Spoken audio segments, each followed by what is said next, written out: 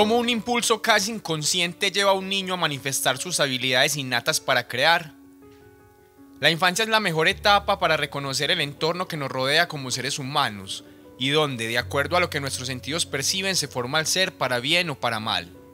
Igualmente, este es el momento donde las destrezas y habilidades se manifiestan y en el mejor de los casos, con un buen acompañamiento, se desarrollan.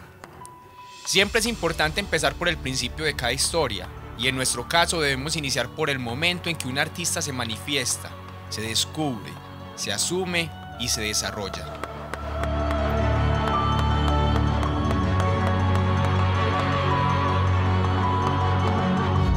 La infancia mía fue en el taller de mi papá, em, jugando con barro, viéndolo a él creando obras de arte y en ese ambiente artístico, no solamente a él, sino a los compañeros con los que compartía conceptos artísticos. Entonces, ahí, nace el amor por el arte, es algo genético que está en la sangre y también en la educación. Incluso yo no jugué bola ni le cometa, sino que las vacaciones era en el taller del papá.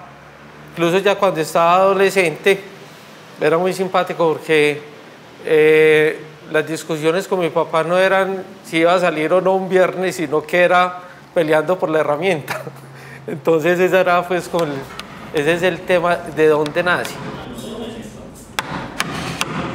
A los ocho, años em, en la casa se empezaron a, a, empequeñecer los, los palos de escoba y los palos de las trapeadoras y no sabían qué estaba pasando. Y era que cogía y los recortaba y hacía con esos palos, esos pedacitos de palo, hacía unos soldaditos y hacía unas imágenes, digámoslo así, muy rudimentarias. Y mi papá empezó a cogerme más, como más de cerca, más de cercanía, a educarme, a inculcarme el tema del arte. Y ese es el, nacimiento. Luego ya a los 14, 15 años entré a la escuela de Eladio Vélez en Itagüí y ahí me formé eh, como dibujante artístico. Y Luego ya cuando estaba en el seminario me dejaban salir todos los miércoles para estudiar escultura. Entonces me formé artísticamente en la escuela de Ladio Vélez. Entonces dos, como dos, dos tres pilares. Uno, la genética, el papá. Otro, la escuela de Ladio Vélez y el, profesor de, digámoslo así, de toda la vida, Gabriel Restrepo, que también enseñó en la Vélez y en Bellas Artes.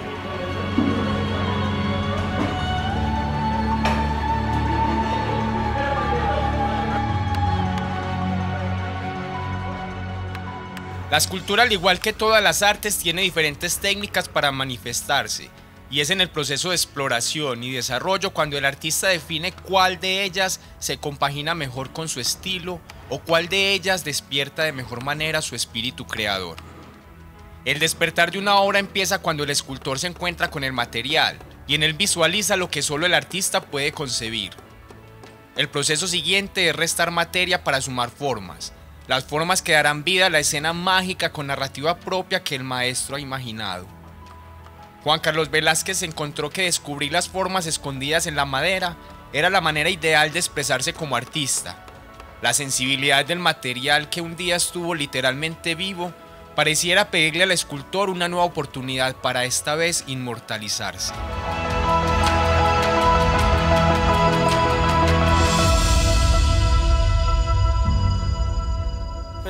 Hay dos, dos, sentimientos. A ver, la madera, ¿por qué madera? Por la nobleza del material, pero también porque es un material muy humilde. Cuando uno va, por ejemplo, a, mm, a Florencia, eh, no, no, se distinguen grandes talladores, sino personas que esculpen, es decir, que trabajan el mármol. Pero talladores son muy pocos y sobre todo porque es un material que incita a eso, a la humildad, a la sencillez, a la cotidianidad. Incluso hay una cosa que a mí me pareció muy bacana, porque casi todos los talladores, em, por lo general tallamos en el comedor de la casa. Entonces he visto varios talladores y yo eh, tan, tan simpáticos, yo creía que yo era el único que hacía basura en la casa, pero no, resulta que hay un poco de gente que es talladora y, y sus piezas las hacen es en el comedor de la casa, en la cotidianidad de la vida. Entonces también por eso mismo es el, el material, también porque incita a trabajar desde la cotidianidad de la vida.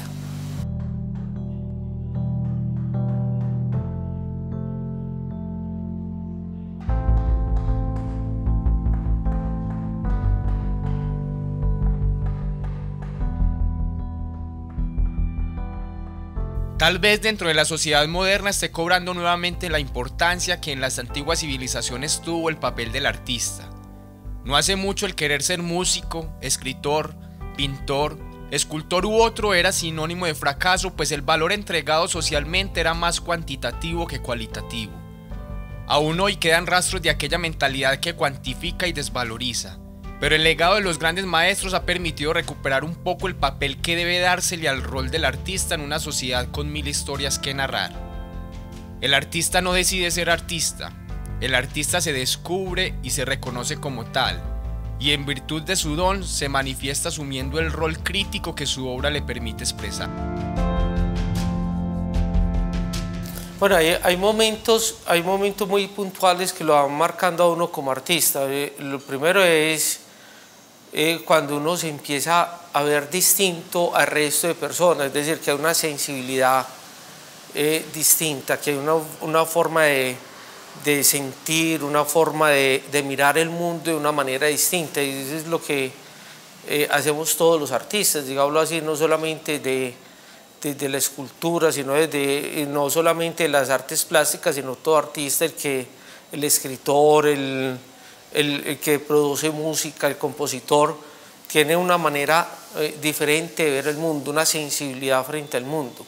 Cuando uno se empieza a ver distinto, incluso en los esquemas mentales o en las epistemologías, es decir, el modo de ver el mundo, entonces dice, es que realmente acá hay una genética o algo totalmente distinto al resto del mundo. Entonces eso es lo primero que uno va descubriendo pero también hay, hay personas que lo van aterrizando a uno a través de, del diálogo. Entonces recuerdo una vez que un compañero de la escuela de arte me decía, mira, eh, vos sos artista o tenés la goma del arte, porque en muchas ocasiones hay gente que piensa, bueno, hay gente que le jala pues el rato libre em, a pintar o, o hacer alguna actividad de carácter artístico.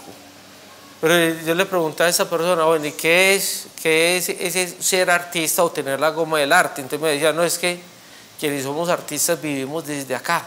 Es decir, eh, el punto de, la esquina de, donde vemos el mundo es desde el arte, es desde una sensibilidad. Entonces ese tipo de diálogos lo van aterrizando a uno y lo van definiendo a uno como artista. La obra no es el resultado gratuito de un momento de inspiración.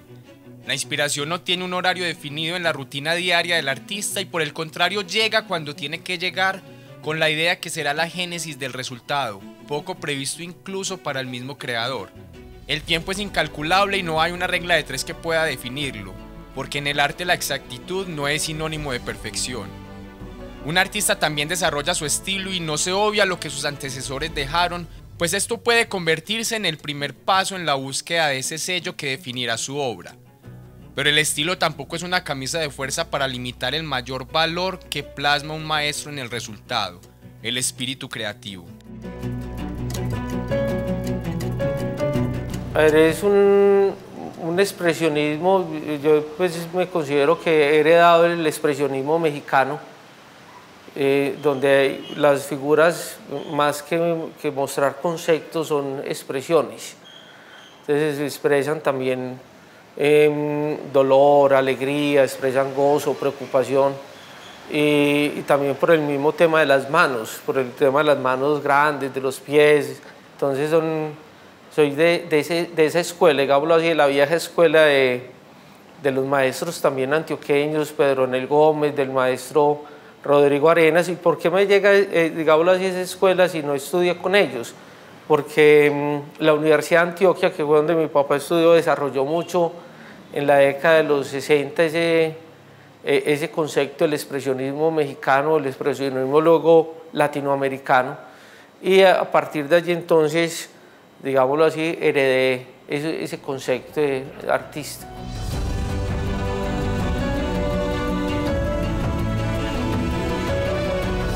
Una vez se descubre y se acepta al artista, no se desliga de su obra, aunque en su camino decida tomar otras rutas.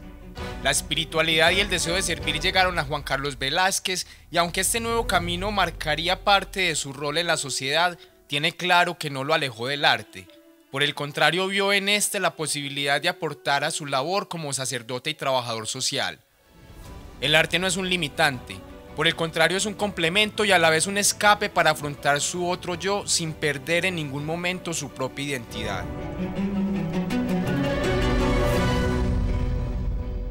Nunca he tenido conflicto porque en esos días que estaba pensando, eh, yo me defino eh, artista de nacimiento, eh, digámoslo así, cura por vocación y trabajador social por necesidad, por la necesidad que genera la gente.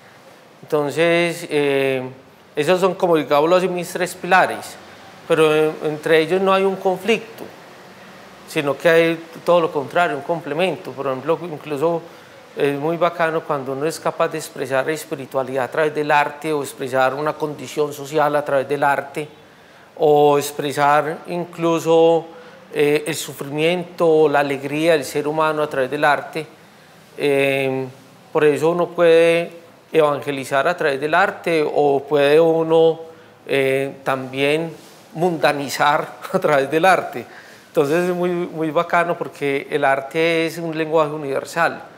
Incluso en, muchos, en muchos lugares donde hay un veto frente a lo espiritual, frente a, a posturas religiosas, el arte es un lenguaje universal que nos abre puertas para hablar con todo el mundo y para llegar a muchos lugares donde no se llega. Entonces me parece muy bacano porque el arte rompe todo tipo de, de barreras y murallas y crea son puentes.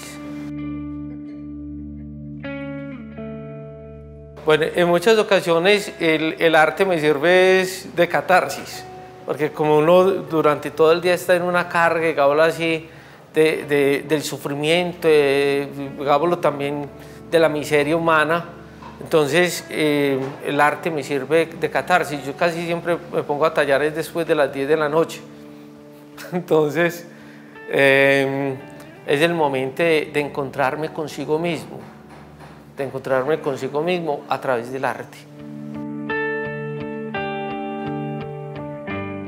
Un sacerdote, un trabajador social, un escultor, tres roles que se complementan en la vida de Juan Carlos Velázquez.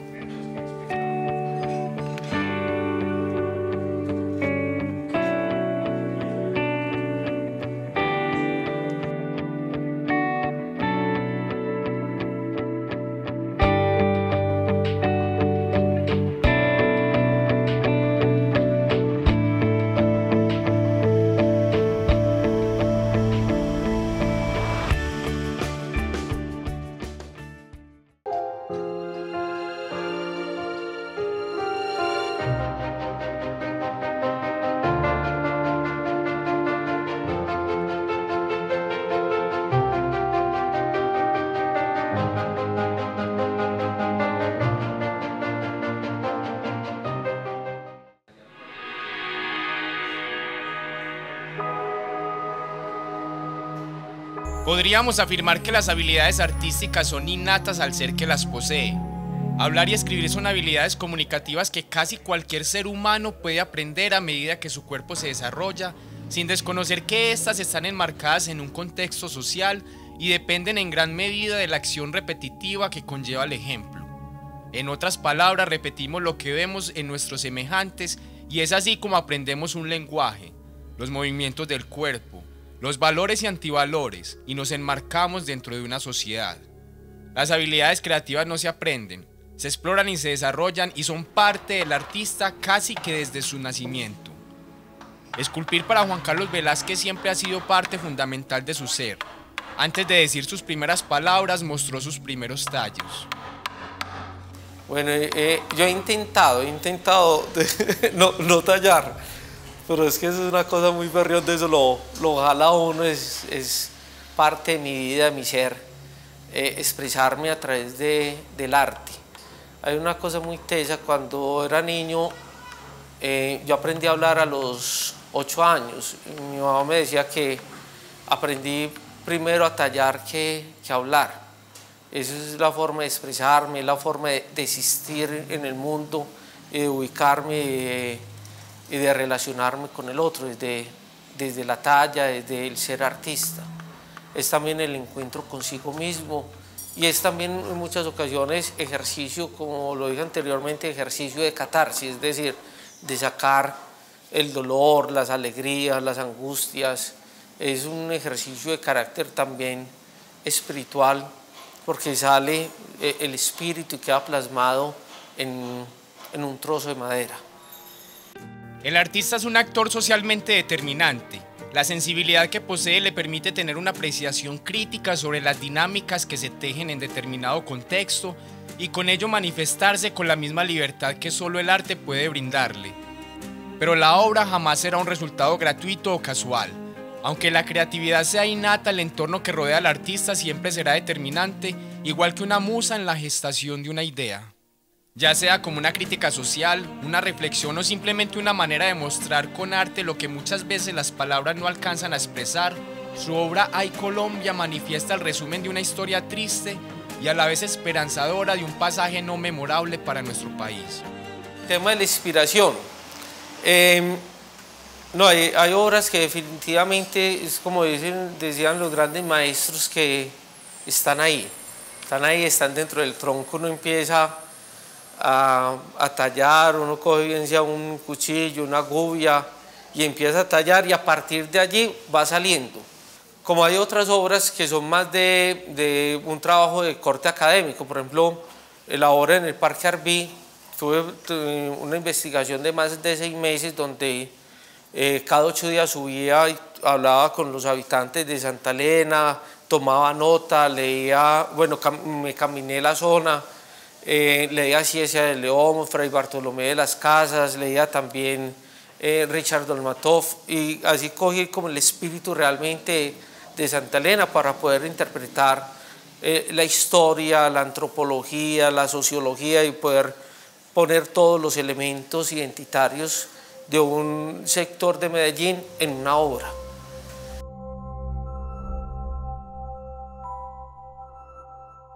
Bueno, esta obra se llama eh, Hay Colombia.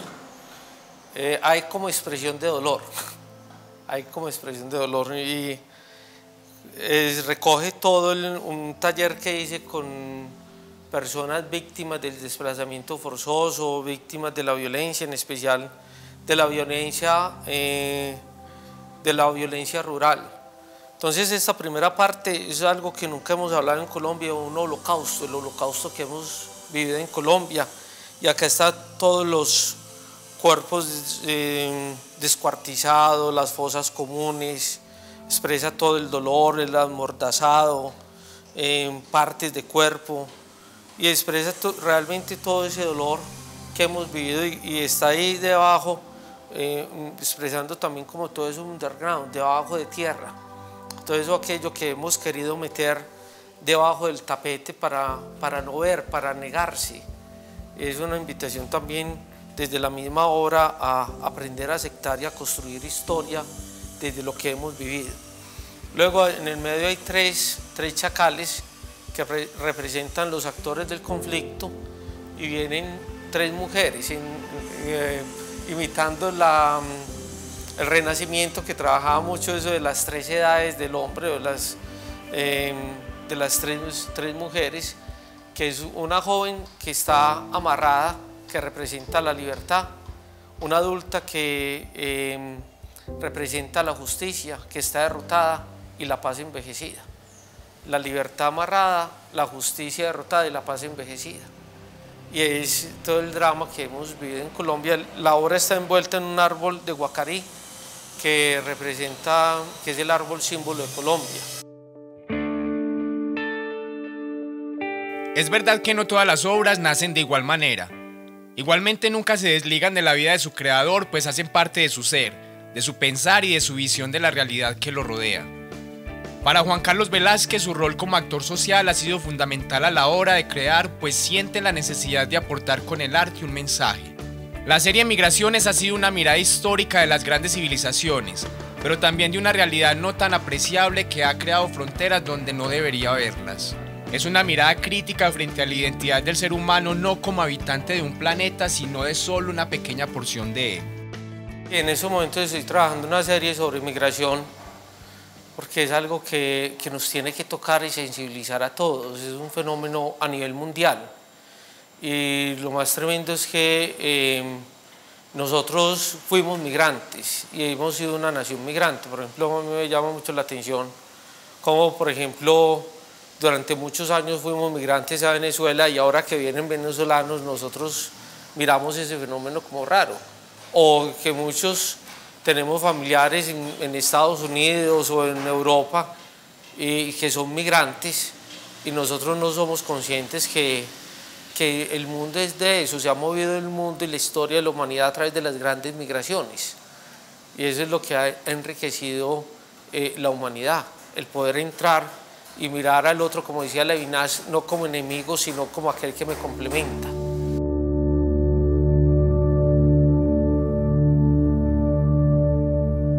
Esta obra em, se llama El Catalán. Em, cuando empecé a investigar el tema de la migración, descubrí que en 100 años de soledad hay un personaje llamado así el catalán, así lo llama el libro, y está como en, la mitad, está como en ese, eh, estoy acá, pero a la vez no estoy acá.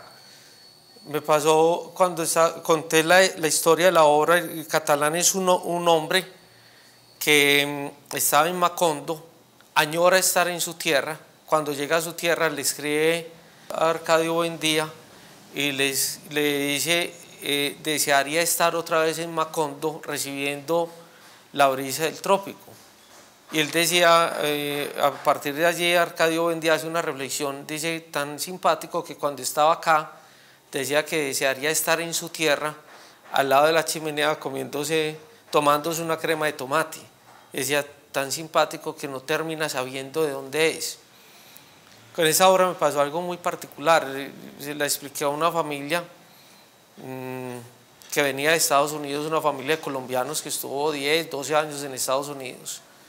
Y cuando les conté esta historia, ellos ahí mismo fue muy duro porque ellos se pusieron a llorar.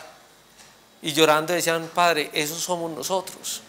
Nosotros no sabemos en estos momentos de dónde somos, y qué es lo que queremos. Esa es la, digámoslo así, ontológicamente, es la, la, vida del migrante, no saber de dónde es ni de dónde pertenece, si, si de dónde son sus raíces.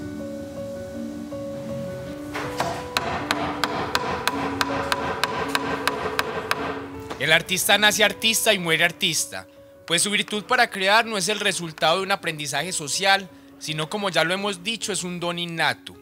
Su obra será el legado que se inmortalizará cuando él ya no esté y permanecerá presente para seguir cumpliendo el papel que su creador le encomendó. Su mensaje objetiva o subjetivamente tendrá su respectiva interpretación sin perder vigencia, pues la historia siempre estará ahí para recordarnos quiénes fuimos, quiénes somos y tal vez quiénes seremos. Solo el arte tiene la libertad de cobrar un lugar en la historia y contarla con la misma vigencia que cuando fue creado. Juan Carlos Velázquez no ve un final del camino para crear. Para él aún hay muchas historias que contar.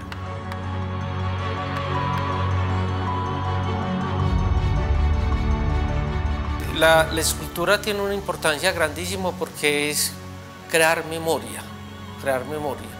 Y la, la, memoria es aquello que nos humaniza, que, aquello que permanece. Pero no solamente crea memoria, sino que incluso anuncia y denuncia anuncia aquellas cosas bellas del ser humano, pero también denuncia las injusticias, denuncia también aquellas cosas que están ocurriendo o aquella deshumanización que vamos viviendo nosotros los seres humanos.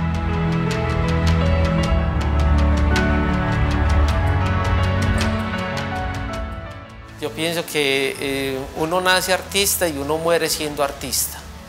Y, desde allí es que uno concibe el mundo y se ve y se ubica desde esa epistemología, desde ese modo de ser y ese modo de sentir.